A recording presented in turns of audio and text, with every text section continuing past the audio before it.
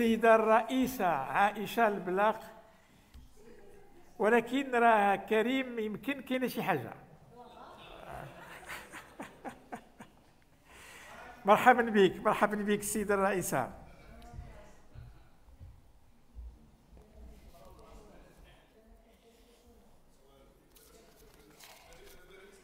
شكرا السيد الرئيس السيد وزير الاقتصاد والمالية وإصلاح الإدارة. السيدات والسادة النواب. ونحن نعقد هذه الجلسة المخصصة لمناقشة تقرير لجنة مراقبة المالية العامة بخصوص صندوق الإيداع والتدبير.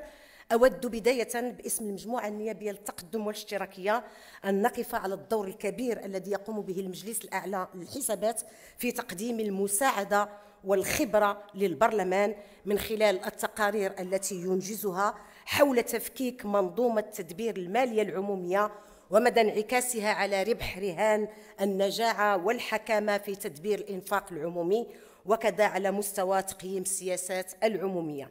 وهي مناسبة نقف فيها أيضا على المجهود الكبير الذي يقوم به عضوات وأعضاء لجنة مراقبة المالية العامة في إدراج عدد من المؤسسات والمقاولات العمومية ضمن أجندة عملها الرقابي المكفول بمقتضى الدستور والنظام الداخلي لمجلسنا هذه المؤسسات والمقاولات العمومية التي كانت من ضمن الطابوهات التي تبقى خارج أي رقابة أو أي تقميم ومن ضمنها صندوق الإيداع والتدبير الذي أحدث سنة 1959 كدرع مالي واقتصادي للدولة.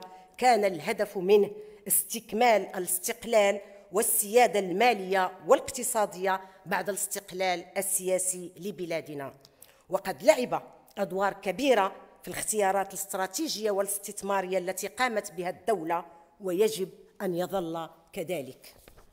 إلا أننا بقدر ما نعتبر بأن لصندوق الإيداع والتدبير وظيفة المنفعة والمصلحة العامة من خلال الاستثمار لفائدة الاقتصاد والتنمية الوطنية بقدر ما له المسؤولية أخلاقية في حماية وتأمين موارد الادخار والودائع التي تتطلب رعاية خاصة وتحقيق رهان المردودية. السيد الوزير بالفعل أهمية الصندوق تكمن في كونه يظل مواكبا لمشاريع الدولة المهيكلة إلا أن التقرير المجلس الأعلى للحسابات سجل عددا من الملاحظات والتوصيات تنصب أساسا على حكامة هذا الصندوق الذي بقي رهينا لنفس المقاربة منذ إحداثه سنة 1959 فعلاوة على تضخم الفروع. هناك ضعف مردودية بعض المشاريع وغياب إطار قانوني ومؤسساتي مواكب وتعطيل لهياكل والأجهزة المراقباتية.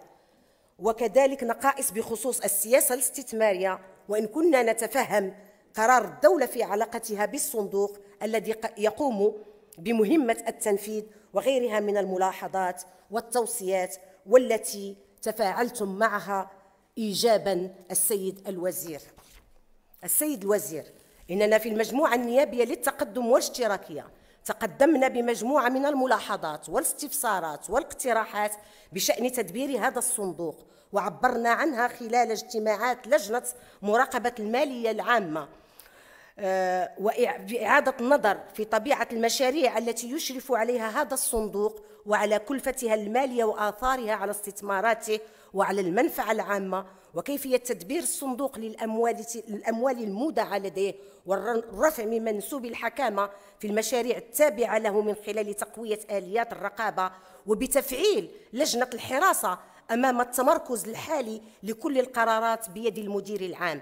وكذا الحرص على مدى مواكبة وتأهيل خدمات الصندوق للتنمية المجالية وللورش الجهوي علاوة على إجراء تقييم شمولي لتحديد نوعية الاستثمارات والشركات التابعة للصندوق ووضعيتها المالية وإعادة النظر في الهيكلة الإدارية والتنظيمية للصندوق وفي الرواتب والأجور وغيرها واعتماد النصوص القانونية الجاري بها العمل في التوظيفات وإسناد المسؤوليات ثم إحداث آلية مؤسساتية محاسباتية للوقوف على ماهية الإفلاس لصناديق الحماية الاجتماعية والمدبرة من قبل الصندوق ومعالجة الاختلالات المرصودة وترتيب الجزاءات اللازمة في إطار ربط المسؤولية بالمحاسبة. أه السيد الوزير إننا في التقدم والاشتراكية نؤكد على ضرورة تعزيز الممارسات الفضلى المتعلقة بالحكامة والتوجه نحو الاستثمار في القطاعات الاستراتيجية المساهمة في النموذج التنموي لبلادنا. وبالرغم من تسجيلنا تفاعل الحكومة الإيجابي مع عدد من التوصيات التي صادقت عليها لجنة مراقبة المالية فإننا في المقابل نسجل تأخر تنفيذ هذه التوصيات.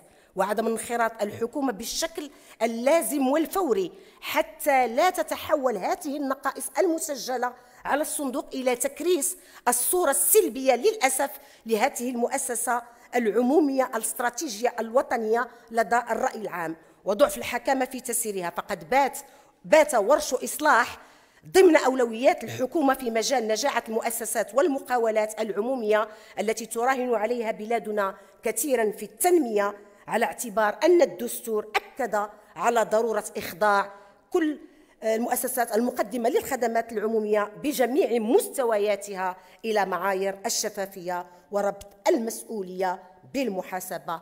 والسلام عليكم. شكرا السيده الرئيسة.